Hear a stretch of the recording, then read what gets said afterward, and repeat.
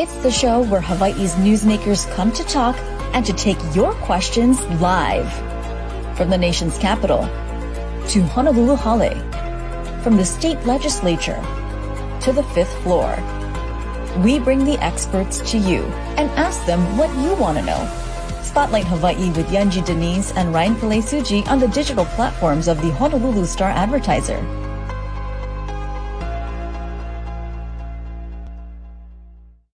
This episode of Spotlight Hawaii is brought to you by Long's Drugs. Aloha, happy Monday. Thanks so much for starting your week off with us. I'm Yunji de Nies, joined by Ryan Kalei Tsuji, and this is Spotlight Hawaii.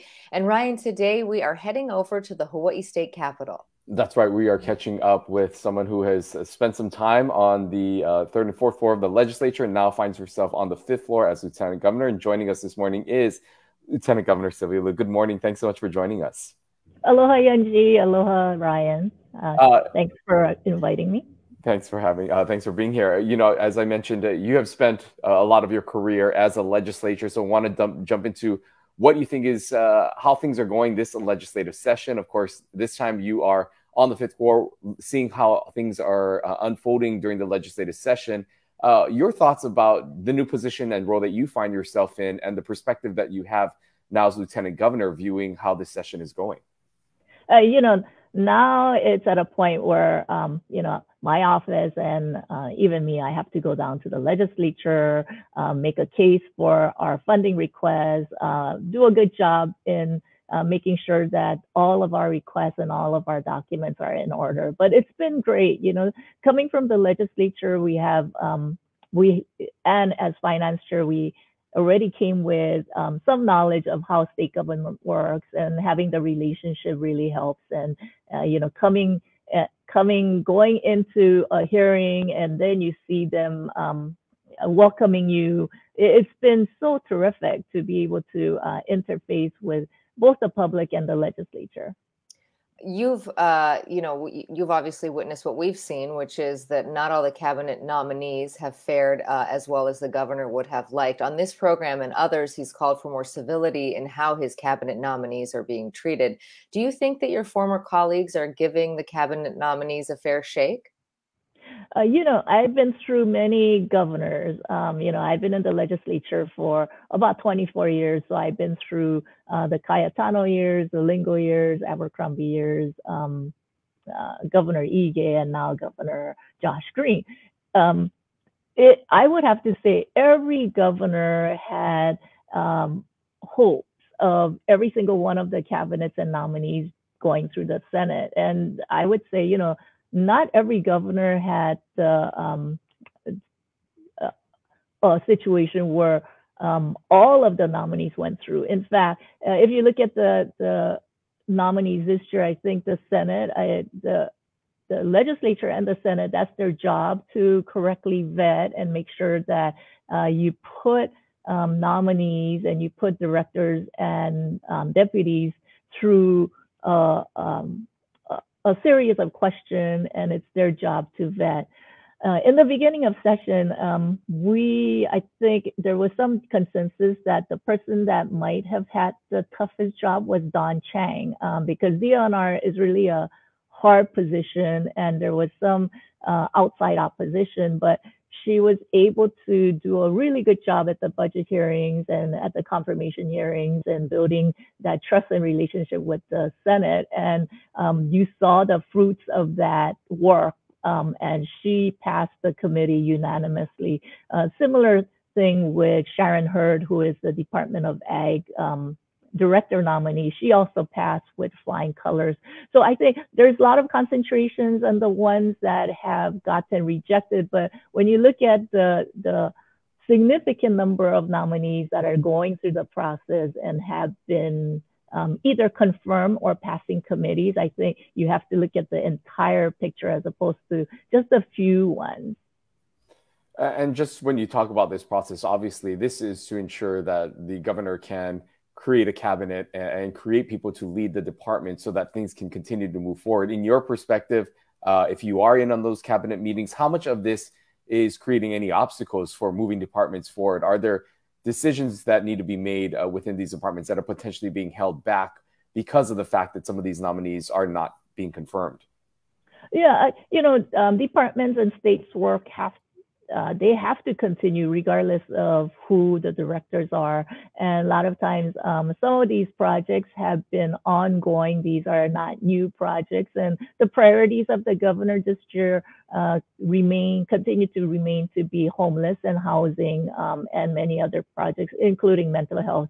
And those projects are uh, continuing to be carried on by not just the directors, but many people in state government you know, sticking with politics, and of course, we'll get to policy in a moment because I know that's why you're with us this morning. But I do want to ask you uh, to address some of the criticisms that have been lev- leveled at uh, UH President David Lassner. Uh, we've seen some back and forth as to whether or not he's doing a good job. Um, the governor seems to think so. Some senators obviously do not. What are your thoughts on the UH president's performance up until this point? Uh, you know, as uh, when I was in the legislature, I had a um, really good relationship with President Lassner, and many times he has come to me for assistance and help, and, and to really set the stage for some of the discussions for how the university can play a role, not just in our, um, not just specifically on university university policies, but they've assisted us um, during COVID um, when we were struggling as a state on how to do contact tracing, you know, how to um, deal with uh, the health crisis, we turned to the university. Um, even um, in the middle of the Red Hill situation, we're turning to the university for their scientific experience and um, their knowledge. Uh, we have never had a university president who has been so active uh, in the past. Some of the presidents were criticized for not being at the Capitol enough and not um, not being um, intimately involved in many of the decisions. What you see in David Lassner is completely different. I mean, regardless of the criticism, he's here all the time, and uh, and because he knows that that's his role. And I have never had a president who both see the importance of the upper campus and lower campus. And what I mean by that, he fights for academic excellence, but at the same time, he is probably the biggest UH Rainbow fan. And I'm sure Ryan, every time you go and um, go to a volleyball game and you're broadcasting, you always see the president there. And I, I've been to um, few um, basketball games and others as well, and he's always there. And he is somebody who truly cares about the university and cares about improving the system. With that said, with any position, even for me, uh, whether you're the governor, lieutenant governor, any leading position, it will come with criticism. But through that criticism, what do you do with that criticism is the key. You know, um, even for me, you know, you look at criticism as a way to improve and always self-reflect and uh, as long as it's productive, um, you know, I think it comes with the job. Well, one of the things that uh, during the campaign season and even in our initial uh, conversations when you first came into office, uh, one of the roles that you thought would be critical, for, uh, especially for you with your experience, is being that liaison between the governor and the legislature, especially right mm-hmm. now as the budget is being formed. Uh, there continues to be negotiations about some of the efforts and some of the measures that the governor would like to see uh, move forward on, including uh, his tax incentives and so, so forth. How involved are you uh, in this process? Are you uh, speaking to the legislatures, the you know the leadership in both houses, and and are you able to be that liaison uh, so far that uh, you know you thought would be one of your strengths coming into this role? Yeah. Um I am constantly uh, in communication with um, uh, key legislators, and in fact, not even just um, the committee chairs, the members as well. And I appreciate all the work that they do, and they know that I appreciate it because I've been in their shoes, and they go through uh, really challenging issues. Um, I was so proud that the the legislature was able to quickly address the um, reproductive freedom bill, and I know it was controversial to some, but you know they they were able to dispose of that uh, issue, and I help um, deal with some of the the uh, the the I think the some of the advocacy discussions and some of the other things that came up, and um, I really uh, love my role as that liaison. I really value it. I value the relationship between the governor and the legislature, and any way that I can do to help fulfill that, you know, I think that's what gives this administration strength let's talk about one of the things that you're focused on, and that is the Ready Keiki initiative. Just to catch folks up to speed, where are you in that process? And you know, there's there's wide agreement that we need to have more preschool access for for kids in our community. How soon do you see some of these classrooms starting to open? Yeah, no, a really terrific question. Um, yeah, you know, uh, when I was in high school, um, uh, I heard um, prior leaders and um, prior superintendents talking about how we needed universal pre-K or universal access by year 2000. And I always tell people the year 2000 came and went about 23 years ago. And so it, it is really uh, a social equity issue. It's a um, social justice issue because the individuals who can't afford to send their preschool um, to kids to preschool are doing it now. So it's those individuals who cannot afford to send their kids to preschool who are not able to do it. A lot of times it's, it's two things. It's either cost prohibitive or it's not convenient. And so one of the things that we're looking at is that we are doing a data driven analysis of where the preschool should go. And I think at one of the um, one of the conversation Yunji and I had, um, in a uh, another show was the importance of really placing preschools close to work areas. Um, I have a situation where we opened public preschools in remote areas and those were never filled only because when public preschool is only open from 8 to 2.15 um, on um, certain days and sometimes on Wednesdays at 1.30. And if you're a working mother uh, or working parent, it will be really difficult for you to drive about an hour to Ewa or wherever it is, and then pick up your kid at 1.30 and then um, provide a safe place where your child can go. So because of that model, we're looking at, is it better to have preschools close to work centers, close to work areas? Yeah, and let's maybe expand a little bit more about that. I mean, how would that, um, you know, would that necess- would that mean that more funding and efforts are going to go into the urban core, uh, and and how is that going to be distinguished? What communities within uh, the metropolitan area, if you will, of Honolulu, how is that going to be decided where these uh, would be established first? The good thing about this program, the Ready Keiki program, is we already got $200 million from the legislature last year. And I work with uh, many of the legislators to make sure that we have the construction funding.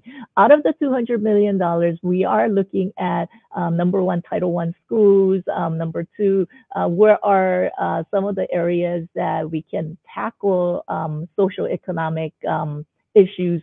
So even if we might be building in an urban core, we will continue to service individuals who are in the rural areas, who are in the um, um, remote areas, um, depending on where they work. So we're also tracking um, where people are working, um, where they're planning to send their kids to school. So it will be a lot of data driven. One of the things we're very excited about is we will be launching a web portal where parents and uh, potential um, uh, guardian of a preschooler can track exactly where the preschools will be opening and that will be part of our outreach.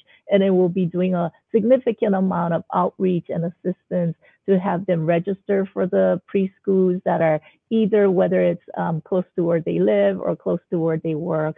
So that will be another segment of this Ready Keiki program, which will help in the successful implementation of this program. So let's let's walk through the practical level of that because I know as a parent, um, you basically you get assigned based on your zip code. That's that's right. your school. It's your neighborhood school. That's traditionally how it's done in Hawaii. Mm-hmm. So take your Ewa example. Let's say you live in Ewa but you work in town. How would you get access to that town preschool? Do you have to file something through your employer to get some kind of exemption? How does that on a practical level actually work?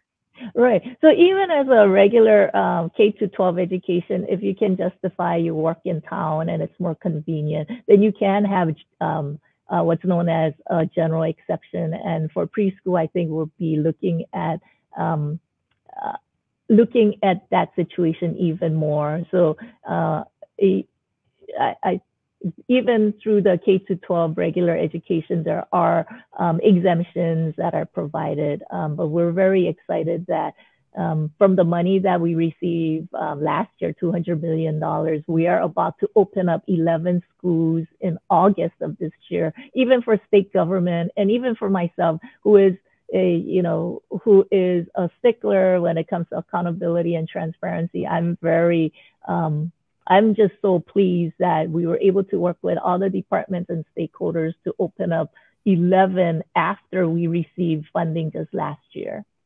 And if we can speak, of course, this is not a program that's going to be confined to the island of Oahu. This is a statewide initiative. Uh, if you can exactly. sp- speak about the neighbor island uh, expansion and how they will play into this rollout overall. Yeah, absolutely. So out of the 11, um, it, we have one on Kauai, I believe two on Maui, I believe also too on the Big Island. So we will be concentrating where um, people do not have preschool access first. And of course, in urban Honolulu, there would be a lot of um, preschools existing already. So we will be also going out to the rural areas, um, neighbor islands, um, areas where people don't have access. So we are looking at working with charter schools about opening up preschools um, in different areas and um, and close to work sites as well. You know of course the the physical classroom is one aspect. It's also staffing that is the other challenge. We know the doe already has a, a relatively large teacher shortage. Where are you looking to find the teachers to staff these 11 classrooms and beyond? Um, wh- where are the workers yeah, the interesting thing is when we took a look at the workforce, uh, the teacher shortage is really occurring at the high school level or subject matter and not so much at the elementary school level. One of the things that we found was that in order to get a preschool degree at the University of Hawaii, you need a dual credit. So you need to be a preschool, pre-K to third grade degree, plus you also have to double major in uh, K to eighth grade education, which has made the, the preschool degree really rigorous. So one of the conversations that we had and the University of Hawaii is willing to take on is separate out and then have a preschool alone degree, which will have a lot more um, students who are interested um, participate in this pathway. The other thing that we're looking at is looking at high schools through our early college program um, we will be opening, potentially opening high uh, preschools at high school sites so that it will provide not just a preschool program, but a teaching pathway for some of these kids who can potentially graduate from high school with an AA associate degree to be able to go into some of these classrooms as a teacher assistant right away. Yeah, and that brings up a question that we have from some of our audience members. Heidi's asking if you put any thought into leaning uh, on college campuses to promote early education and giving teachers, uh, teaching students experience before it hits the workforce. Uh, has any attention been or thought been given to how college campuses might play into this and the workforce, maybe development of some of the class, uh, those opportunities that exist with college students? Yeah, absolutely. So, in addition to high schools, we have spoken to the University of Hawaii system, and we are planning to build a preschool at every University of Hawaii campus so that it not only serve as a preschool for um, the students and the community, it will be a teaching pathway at all the universities. So we're very excited about the potential of having preschools on every university campuses. That is exciting. Okay, well, we'll keep tracking those. That ele- those eleven classrooms are great mm-hmm. news, mm-hmm. and we'll keep. I'm sure every time we have you on, we'll be talking yeah. about this one. Um, I want to widen out just to the office. You've been obviously in, in, the job for several months now. You know, uh, you're familiar, as we noted at the top, with that building in and out. But what has been the biggest surprise for you in coming into the role of LG now that you've really, uh, you know, had had your foot on the ground, if you will, for some time? Yeah. That's a really good question. One of the things that I've noticed right away was uh, coming from finance and coming from the legislature. The legislature has strived to be um, paperless and strive to make sure that uh, you know things are categorized either through email or scanning.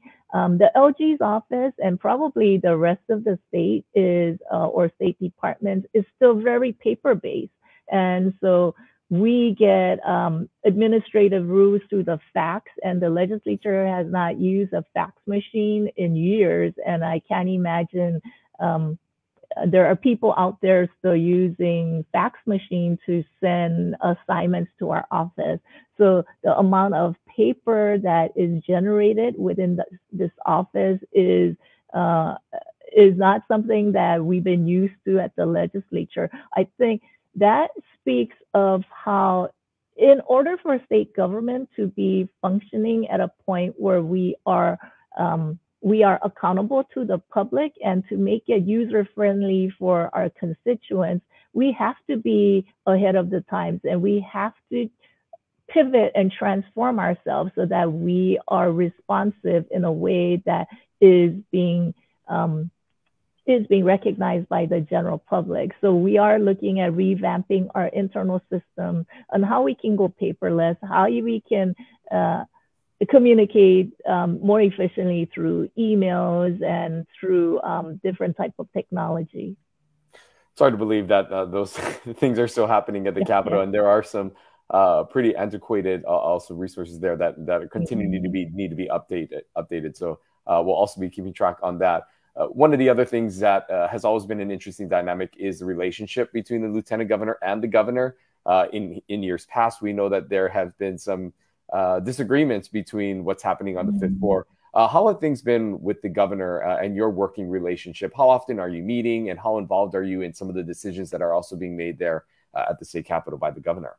Yeah, uh, you know, he and I communicate all the time. In fact, just uh, this morning he texted me just to check in and go, "Hey, how's it going?" And then over the weekend we are um, joking about April Fools because you know, um, you know, you probably know Josh is a huge, um, huge jokester. So you know, any chance he get to poke fun at um, somebody and then you know play a joke you know he's gonna jump on it. So uh, april fools i mean he he did a really good one and then he texted me about something and i was like okay is that true or not? And then he waited a little bit and then he said april fools. And i told him okay before you text all these random individuals because this is like you know you're gonna go off and just play a joke on ryan and um, yunji and whoever it is just check with me because some things may not be completely uh, you know people might believe it and you might cause problems only because you are the governor. But he and i get along really well. You know there are a lot of stressors in this job and um, he's handling it uh, really well. And um, i'm involved in his cabinet meetings um, every wednesday and we talk all the time and he's bouncing off ideas and i bounce off ideas with him yeah, you know, and and in that in that role, I wonder, given you know the challenges that we talked about off the top, um, having to be that broker and going back and forth, how much of, of your time do you think that you're spending really advocating for the administration's priorities and you know and, and like when you look at the division of labor for your job how much of your job really is serving in that role and trying to advocate for the administration and its priorities? And how much of it is it doing all the other work that we talked about earlier as well? Right it, you know it's it's always about managing um, your time and uh, you know you only have so many um, so much time in a day. And one of the other things that I found really um, interesting about this job was I had no idea because it's still the lieutenant governor's office. You know, the governor's office has a lot of public interface, but the lieutenant governor's office has a significant amount of public interface as well. Uh, I just came back from um, Maui this weekend because I had to give a talk to a group. The prior weekend, I was in Naalehu, then went to Maui, and then came back. Uh, I love the public interface part because it's my way to engage and then ask answer questions. You know, a lot of times um, people don't really get to um, see their public officials, and they have this uh, you know, they're um, they're thinking, okay, you know, if I saw somebody, I want to ask this question and I want to be available. So, um, but be, in addition to the the public interface and you know getting out there in the community, uh, I still need to go and talk to the legislature and um, stress uh, the importance of many of the legislation that's uh, moving and also you know help in guiding um, setting the relationship between not just um, between the administration and the legislature sometimes it's between legislators as well so it's a lot of work but i love this job and you know i'm just so thankful that um, that the people gave me this opportunity to be here you know, I quickly want to ask you, as someone who has worked on the state budget and knows it pretty well and mm-hmm. intimate, uh, all those fine details that go into that. Uh, there has been some criticism by those who are managing the budget this year. Uh, uh on the Senate side, of course, Ways and Means Chair um, Cruz, and then on the House side as well. As someone who, uh, which is Rep. Yamashita, as someone that's worked through this dynamics of having to find that negotiation, because oftentimes there is a, a lot of differences be- that exist between both budgets. How do you think things are going with the budget formation thus far and the relationship between these two chairs uh, that are critical during this time uh, and will play a more critical role as we head down into conferencing? I have a lot of confidence in Chair Yamashita. I also have a lot of confidence in Chair De La Cruz. It's hard being um, the money chair. Um, regardless of what happens, you're always going to get blamed for a passage of a bill or non-passage of a bill, and you also get blamed for um, something being funded and something not being funded. It, it, you know, having been finance chair for 10 years, I know how hard it is. And um, we're going into crunch time. The next several weeks will be when they will they will start their negotiations. And uh, you know, I wish them a lot of luck. Um, I, I have so much aloha for um, these gentlemen and all the others as well. You know, you have the CIP chairs. Um, uh, Gil Algaran from Maui, um, uh, Scott Nishimoto on Oahu, Lisa Kitagawa, you know, they're doing, they're working um, hard um, and they're always there on the weekends as well. So I, I appreciate them so much.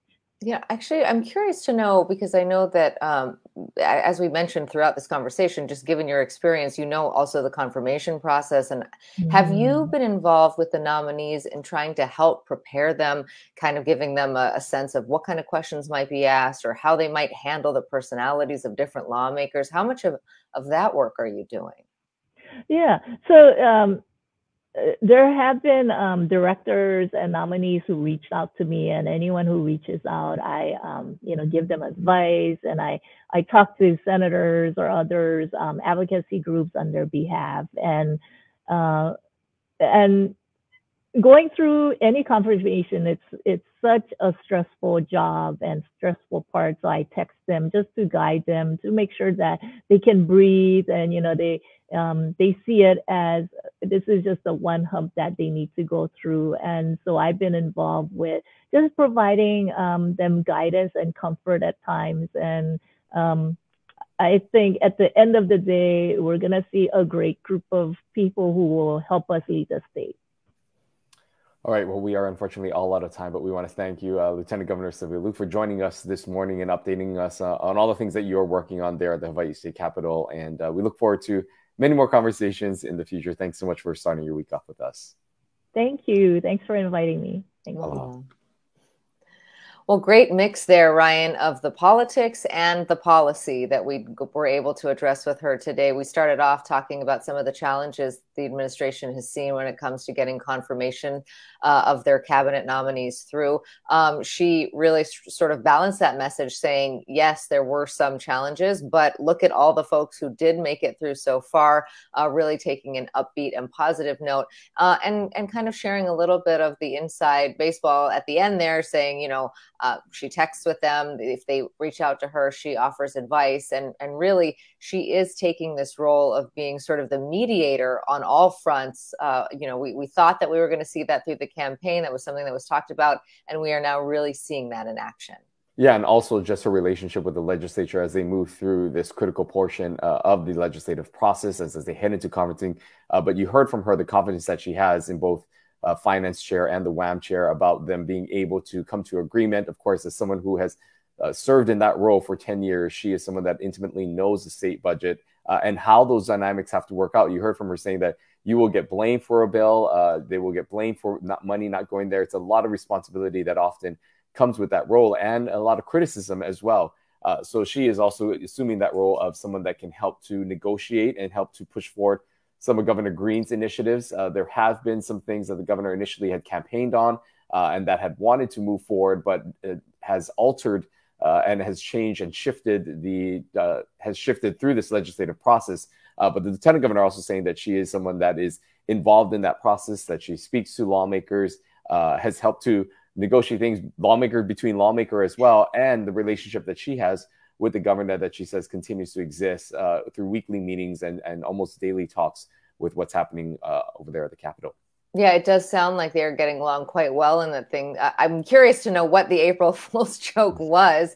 Um, we'll have to ask him about that the next time he's on. She also updated us on the progress of Ready Keiki, which is really uh, the the thing that she has uh, been tasked with, the initiative she's been tasked with, that and broadband to shepherd through. Um, and so she did say that they are opening 11 classrooms this August, or you know, trying to roll these out over the next few years to try to get as many kids into seats into classrooms in preschools as possible. And an interesting shift there with where these classrooms will go. It, previously, the focus really is in the residential areas, but now she says she's they're looking at workflow patterns and seeing where is most convenient. If the preschool day is only eight to two or two thirty, or even on some days 1.30 uh, it doesn't make a lot of sense to drop your child off and then commute and then have to commute back perhaps making a lot more sense to commute together drop off together and then drive home together. So they're really trying to alter the pattern to fit how people live in this day and age. So interesting to hear about that.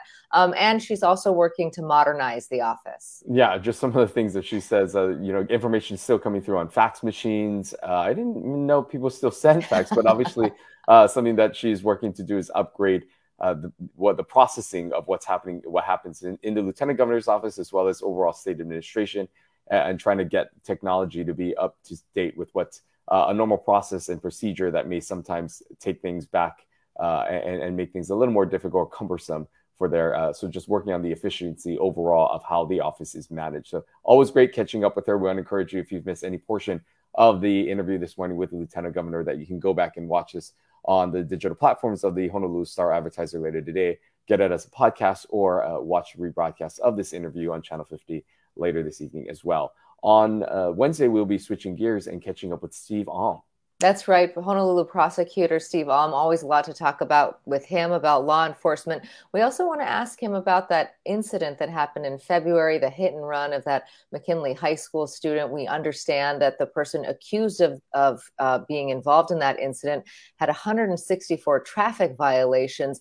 How, you know, that person is still able to get onto the road. Are there things that the prosecutor's office uh, could have done? Are there other things that should be done moving forward to try to keep repeat offenders off the roads. We're going to ask him about that. Plus, of course, get an update on Waikiki Chinatown and all the things that we usually discuss with the prosecutor. We always have plenty to ask him, and we do hope you'll join us right here at 1030 on Wednesday. We'll see you then. Aloha. This episode of Spotlight Hawaii is brought to you by Long's Drugs.